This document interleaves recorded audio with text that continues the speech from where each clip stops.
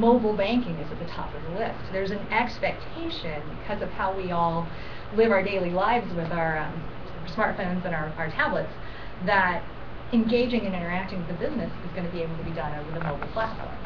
So it puts a set of requirements on the development teams and on the testing teams and on the management teams. I also think it does ratchet up the expectation that you iterate more quickly because we're, we're all used to our smartphone apps. I think every other time I log into my smartphone, I've got 25 new app updates. And, and yeah, these are, you know, consumer applications, like maybe a, a news feed or, or a game, but it's permeating the mindset of customers out there. So yes, we're seeing that significantly impacting the way that we deliver.